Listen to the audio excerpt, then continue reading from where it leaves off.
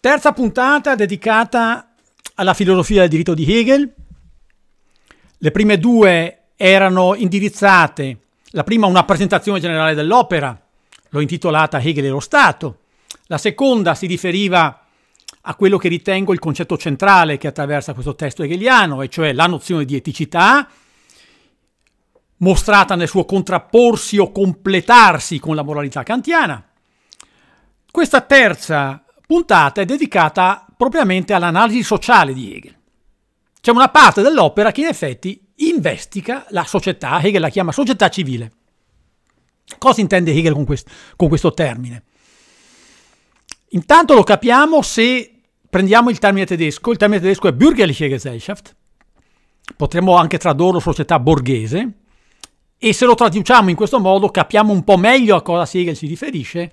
Si riferisce al formarsi, grazie all'azione della borghesia, di quella sfera in qualche misura intermedia tra la sfera strettamente privata familiare e la sfera dei rapporti politico-istituzionali, cioè appunto la sfera dello Stato, che nasce grazie all'incremento degli scambi, grazie al formarsi di una sfera in qualche misura autonoma e dagli imperativi, diciamo così, solidaristici della famiglia e dagli imperativi politici dello Stato, che si forma grazie al costituirsi del mercato, degli scambi economici, del lavoro ed è in qualche modo il prodotto del capitalismo moderno.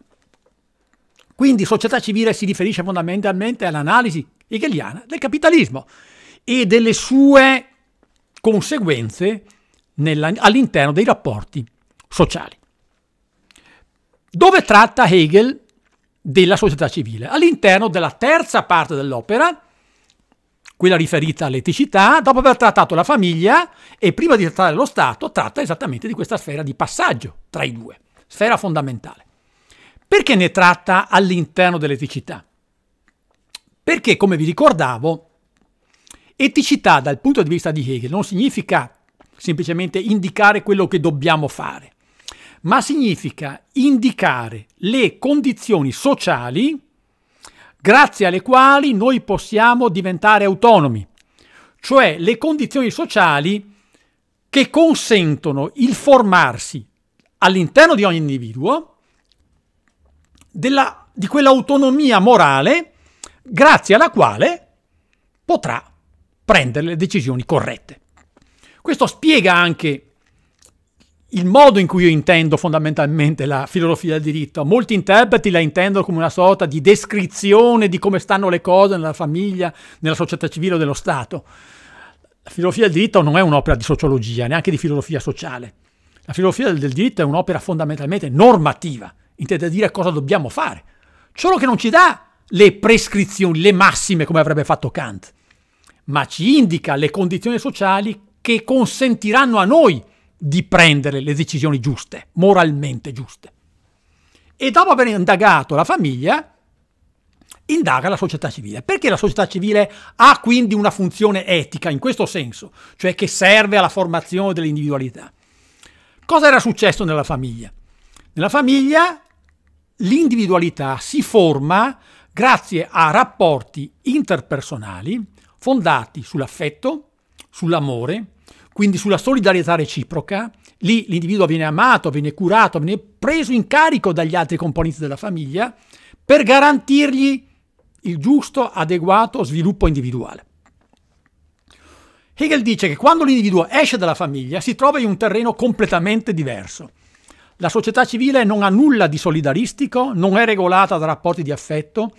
Nella società civile i rapporti sono fondamentalmente rapporti di competizione, di conflitto in qualche misura si ripresenta dentro la società civile hegeliana quel bellum omnium contra omnes, eh? la guerra di tutti contro tutti, di cui aveva parlato Hobbes e che lo stesso Hobbes aveva collocato nella condizione naturale, nello stato di natura. Ecco, Hegel dice, quello stato di natura non è un ipotetico stato che sta all'origine della storia dell'umanità, no, è qui presente davanti a noi. È la società che è stata creata dal capitalismo, hm? è la società della competizione, del conflitto. Mm, in cui gli individui mettono davanti a tutto quella che chiama la loro particolarità. Cos'è la particolarità?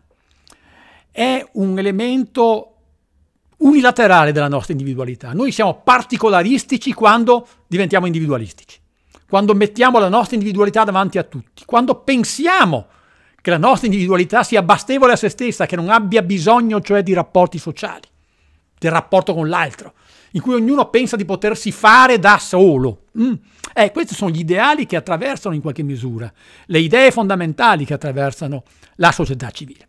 Ecco, quando l'individuo si trova lì, lì, di fronte in questa competizione di tutti contro tutti, ecco, l'individuo è messo di fronte a un nuovo lato della libertà, appunto, questo lato particolaristico, in cui la libertà significa autonomia non grazie all'altro, famiglia, mm, e poi la ritroveremo nello Stato, ma autonomia di contro all'altro.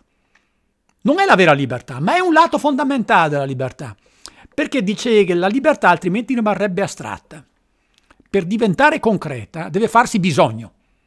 E la società civile è lo stato del bisogno, è esattamente il sistema dei bisogni, come lo chiama Hegel. No? Sono 20 paragrafi, una ventina di paragrafi che colloca all'inizio della trattazione dedicata alla società civile, le altre due parti saranno l'una dedicata all'amministrazione della giustizia e l'altra, parte finale, alle istituzioni in qualche misura etiche della società civile, cioè quelle che nella società tedesca di inizio, 700, inizio 800 erano la polizia, quella specie di piccolo welfare sociale che chiama appunto polizia e poi la corporazione degli artigiani e dei lavoratori.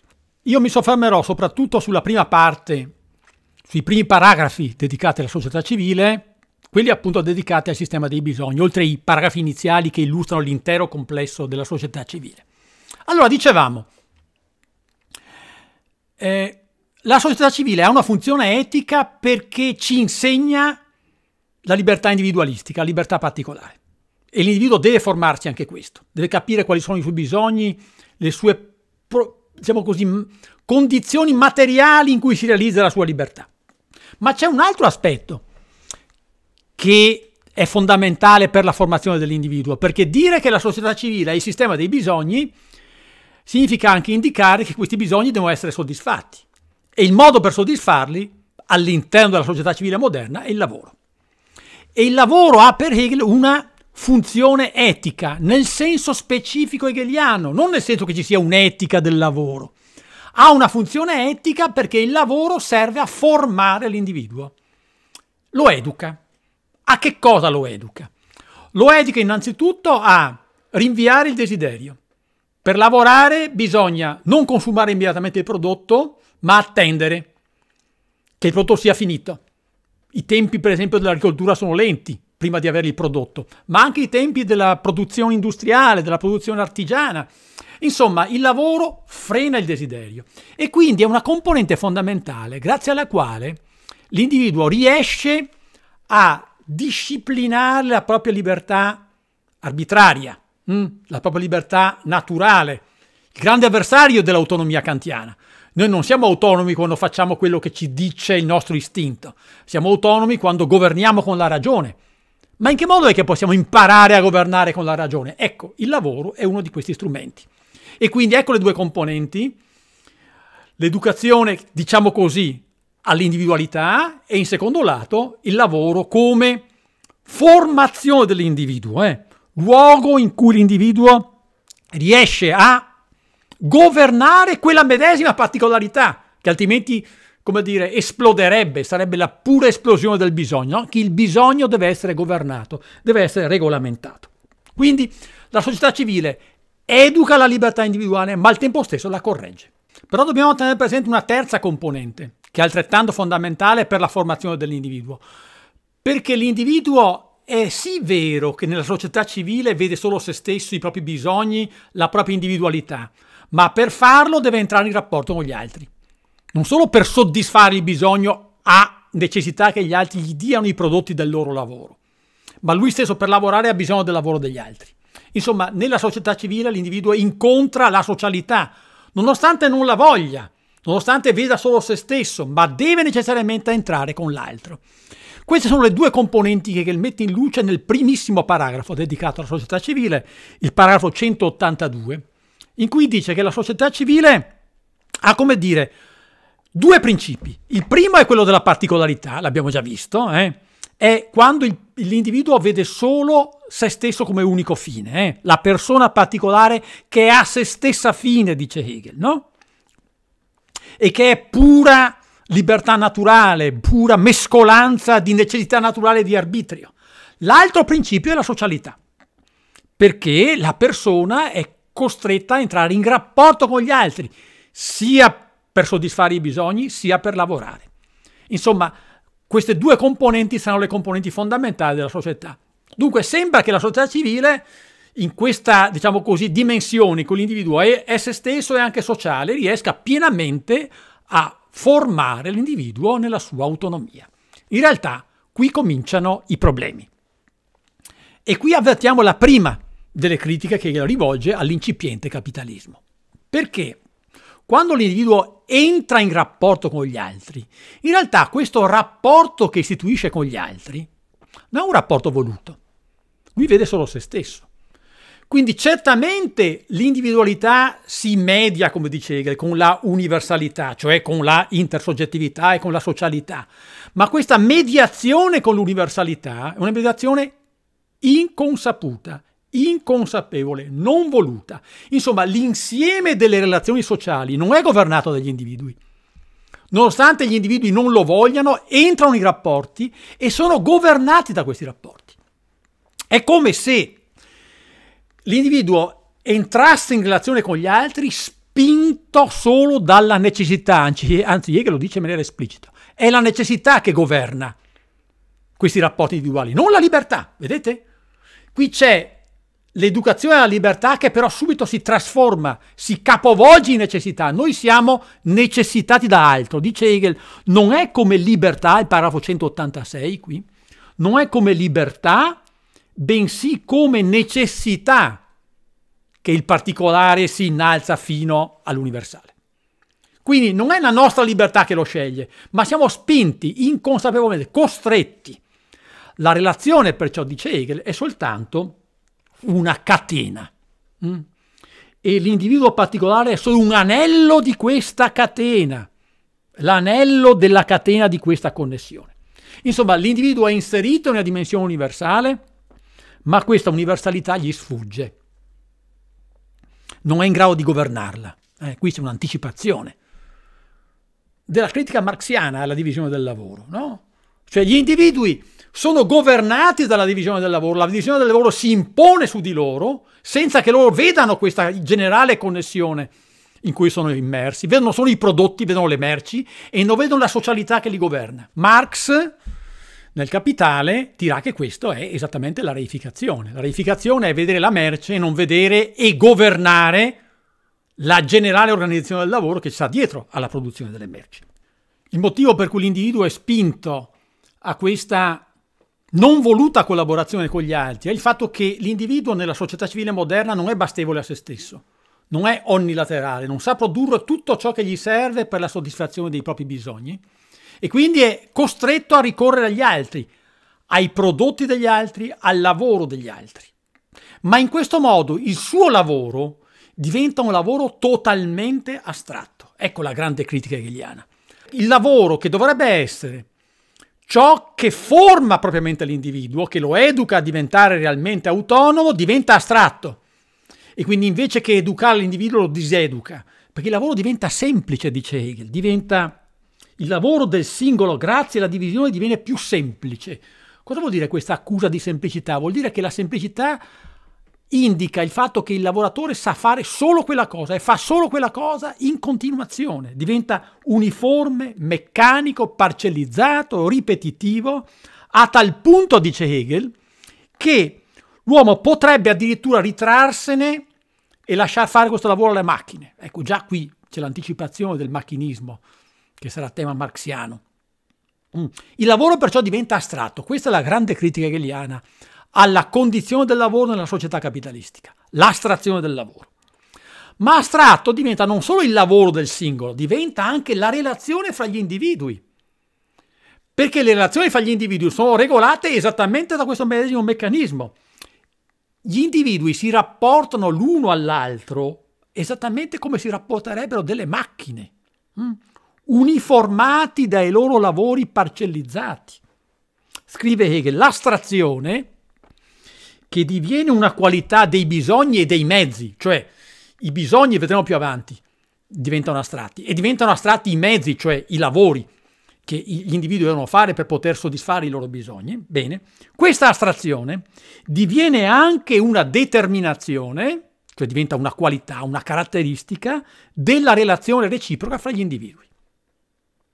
Cioè la astrazione, che sarebbe una cosa puramente mentale, puramente logico, astratta, intellettuale, diventa concreta.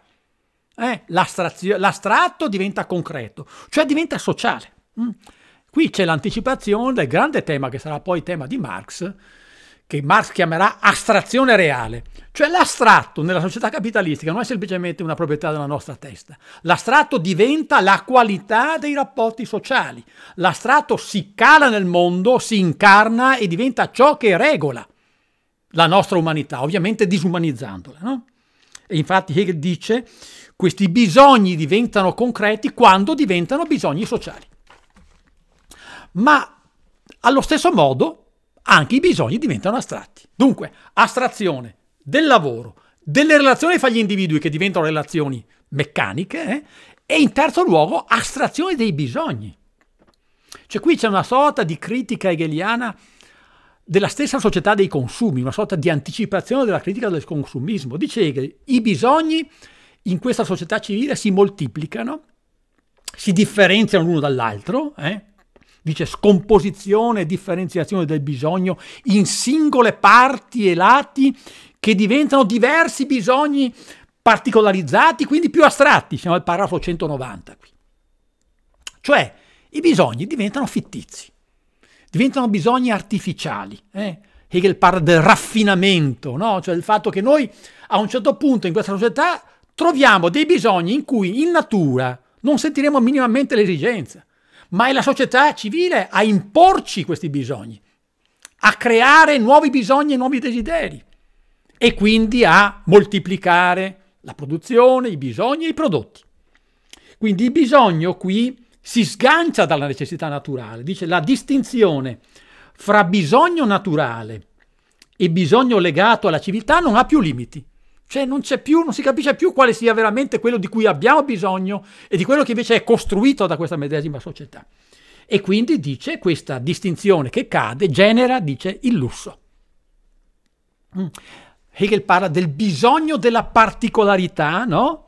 E qui eh, la critica proprio specifica, il desiderio di distinguersi dagli altri, ecco, il raffinamento, il desiderio di distinguersi dagli altri attraverso la soddisfazione di nuovi bisogni. Io mi distinguo se riesco ad avere nuovi bisogni nuovi prodotti, quindi nuove merci. Mm? E quindi il bisogno, dice Hegel, diventa arbitrario. Ecco qui di nuovo l'arbitrio. Quello a cui la società civile doveva porre rimedio, no? La società civile doveva governare l'arbitrio fare in modo che l'arbitrio diventasse vera autonomia, ci impone invece il bisogno arbitrario. No? Hegel lo chiama anche il bisogno spirituale della rappresentazione. Il termine rappresentazione in Hegel ha sempre un significato negativo, non è il concetto. No? La rappresentazione è qualcosa che è appunto di astratto intellettuale. Eh? Bisogno diventa questo. Eh? Quindi si supera la mera naturalità del bisogno. Mm? La società civile crea bisogni nuovi e artificiali. E questa moltiplicazione dei bisogni genera uniformazione.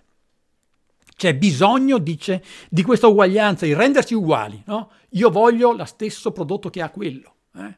Qui c'è l'anticipazione della grande questione del mimetismo di René Girard, no? in cui eh, io, come dire, imito l'altro perché desidero ciò che l'altro desidera, no? e si ripete all'individuo, si moltiplica e si ripete all'infinito questa cosa. E qui Hegel introduce un nuovo tema, mutuato dalla economia politica di Smith e di Riccardo, che lui aveva letto negli anni precedenti. La, I principi di economia politica di Riccardo erano usciti nel 1817, esattamente qualche anno prima che pubblicasse la filosofia del diritto, ma Hegel l'aveva già letta. Hegel dice che cosa produce questa uniformazione dei bisogni, questa uniformazione dei beni? Significa che le cose, cioè i prodotti di cui abbiamo bisogno, eh, le cose diventano tutte uguali diventano comparabili tra loro, per scambiare devono essere comparabili. Mm? E perciò è necessario che nella società civile la qualità dei prodotti si trasformi in quantità. Ecco, altra anticipazione della distinzione marxiana tra valore d'uso e valore di scambio, in modo tale che sia i bisogni che i beni diventino comparabili con altri bisogni. E questa universalità quantitativa è chiamata da Hegel, siamo nel paragrafo 63 qui, quindi nella parte dedicata al diritto astratto, questa eh, universalità quantitativa, per cui tutto è uguale all'altro, è chiamata da Hegel il valore della cosa. Il tema del valore è stato introdotto ovviamente dagli economisti classici. Dice poi Hegel, sempre in questo paragrafo 63, questo valore era sconosciuto nella società feudale, perché il tratto distintivo della società feudale non era il valore, era l'uso. Qui l'uso viene sostituito con il valore, perché i beni devono essere scambiati universalmente. Allora, questa tendenza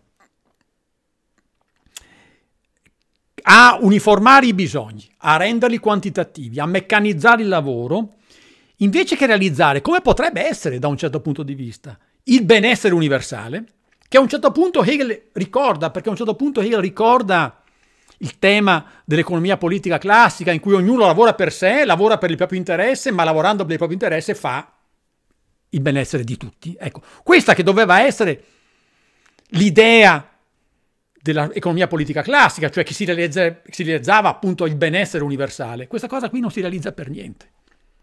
Invece che realizzare il benessere universale, quel benessere che è appunto teorizzato dall'economia politica, no? genera profonde disuguaglianze. Il cosiddetto patrimonio generale, come lo chiama qui Hegel, no? si rivela, cioè quello che viene prodotto, il prodotto interno lordo lo chiameremo noi, cioè quello che viene prodotto annualmente all'interno della società, eh? il patrimonio generale si rivela disuguaglianza del patrimonio la ripartizione di questo patrimonio non è uguale, è disuguale. Disuguaglianza del patrimonio e disuguaglianza delle attitudini degli individui. E qui Hegel introduce esattamente la parola capitale. Non usa mai la parola capitalismo, ma ha introdotto la parola capitale, però, che è esattamente qui. Eh? Realizzarsi disuguale di questo patrimonio universale. Si tratta, dice Hegel, di una disuguaglianza prodotta. Cioè non è una disuguaglianza naturale, esisteva una disuguaglianza naturale. Gli individui entrano nella società civile partendo da condizioni naturali diverse, perché hanno attitudini, capacità, eh, condizione sociale diverse. E quindi entrano disuguali.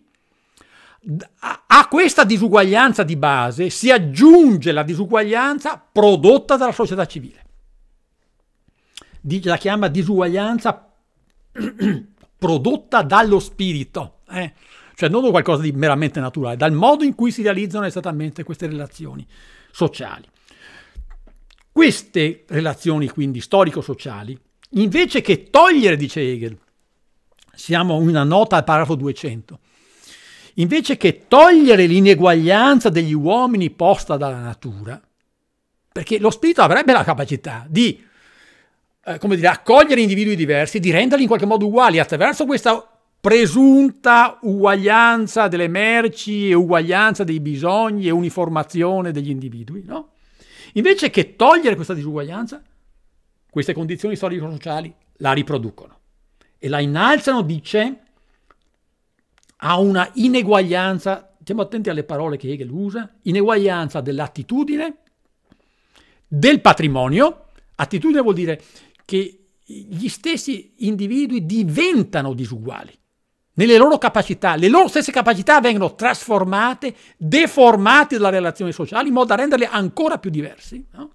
Ineguaglianza dell'attitudine, del patrimonio, quindi del reddito, e perfino, ecco il punto, perfino della formazione intellettuale e morale. Ecco gli elementi di moralità e di eticità presenti ben presenti a Hegel.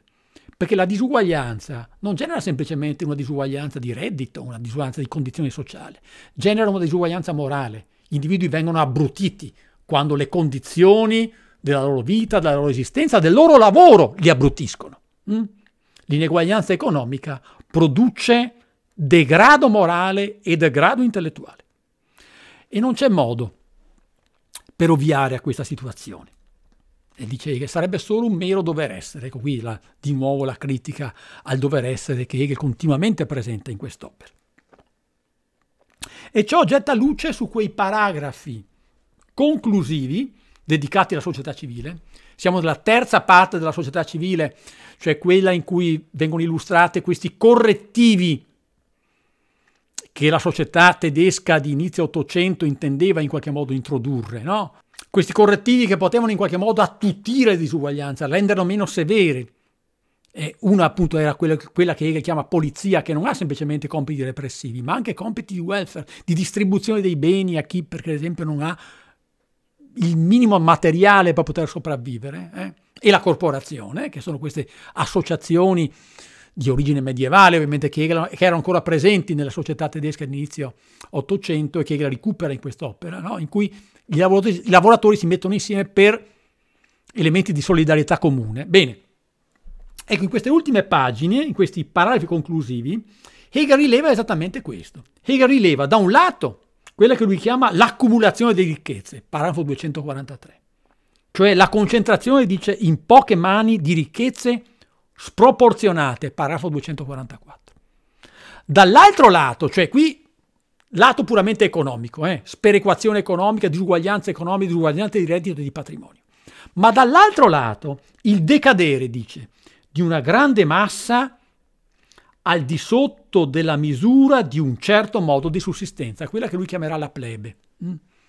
E cioè la formazione esattamente del proletariato industriale, che è quello che viene analizzato, poi sarà analizzato in maniera ben più dettagliata da Marx nelle opere da lui dedicate al problema. Mm? E anche qui dice questa condizione, eh, questa formazione di una grande massa, produce perdita del sentimento del diritto, ecco, condizioni, consegu- condizioni sociali che generano conseguenze morali perdita del sentimento del diritto, del sentimento della rettitudine, dice, e dell'onore di sussistere mediante la propria attività e lavoro. E quando appunto il lavoro è disonorevole, anche la persona diventa in qualche modo ai propri occhi disonorevole. Vediamo allora di trarre una conclusione di tutto questo indagine hegeliana. Fondamentalmente abbiamo visto sono tre critiche. Eh? La critica alla divisione del lavoro, all'astrazione, hm? la critica ai bisogni che diventano bisogni artificiali e poi la critica alla disuguaglianza, queste sono le tre critiche fondamentali che io rivolge. Mm? Ma eh, non ci sono soluzioni per Hegel. Mm? Hegel non offre una soluzione effettiva a tutti questi problemi. Anche se nella parte finale, come già vi avevo anticipato, Hegel analizza queste istituzioni che dovrebbe in qualche modo attutire le conseguenze di questa disuguaglianza, appunto la polizia e la corporazione, le istituzioni della polizia urbana, le istituzioni delle corporazioni di lavoratori possono, come dire, alleviare, ma non risolvono il problema dell'astrazione del lavoro, dell'astrazione dei bisogni, delle disuguaglianze sociali profonde. La particolarità, ecco il punto, grande, diciamo così, il grande tema della società civile, la particolarità, il fatto che la particolarità non venga alla fine superata, eh? resta insuperata in questo contesto sociale e lo Stato, direte voi, di cui poi Hegel tratterà nella terza parte, non interviene minimamente su queste questioni. Lo Stato è per Hegel il luogo in cui si realizza la libertà politica, ma lo Stato non ha nessuna funzione di intervento sulla società, manca in Hegel l'idea di un welfare state, no? cioè dello Stato che intervenga su queste disuguaglianze e le elimini. No? È come se la libertà della società civile fosse in qualche modo lasciata all'arbitrio della società civile e poi acquisiamo una libertà superiore che è la libertà dello Stato. Lo Stato non interviene su tali questioni. Allora, che conclusioni possiamo trarre di questa critica hegeliana al capitalismo? Diciamo che è una critica al capitalismo senza soluzione dei suoi problemi. Mm?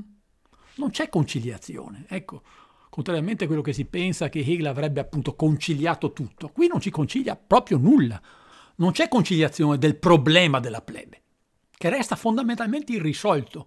Un lato di opacità che non riceve nessuna chiarezza in grado di illuminarlo, in grado di risolverlo. A dispetto dunque della vulgata secondo cui in Hegel tutto si concilia, no, la storia resta inconciliata. E qui non è la storia del passato, qui è la storia della modernità che lui vede appunto davanti ai propri occhi, Insomma, il tratto fondamentale dell'analisi hegeliana del mondo del lavoro è quindi quello di una tensione irrisolta, potremmo chiamarla così, fra queste potenzialità emancipanti che sono presenti nel lavoro. Abbiamo visto, no? Il lavoro come educazione alla propria individualità, come luogo in cui l'individuo può fondamentalmente trovare la dignità di se stesso, riconoscere se stesso nei propri prodotti, tema che già era stato affrontato da Hegel nella fenomenologia dello spirito, nei paragrafi dedicati appunto al lavoro del servo, che riconosce se stesso nei prodotti del lavoro. Da un lato c'è questa potenzialità emancipante, vede, ma questa visione del lavoro emancipante resta in qualche misura, potremmo quasi dire, una visione utopistica. Mm? È un lavoro ideale, quello lì indicato da Hegel, che non è quello che si realizza concretamente nella società civile. Questa potenzialità emancipante è presente, c'è nel lavoro questa potenzialità, viene represso dalle condizioni in cui questo si realizza all'interno della società civile, borghese, moderna. Questa è una, è una realtà degradante e a questa realtà degradante non c'è soluzione possibile. Il che riflette a mio parere, quella che è l'intera, la complessiva indagine hegeliana sulla modernità, che è intrinsecamente ambivalente, intrinsecamente ambigua. Emancipazione da un lato e astrazione dall'altro. Diciamo che nelle pagine dedicate alla società civile si mostra plasticamente questa doppia faccia della modernità.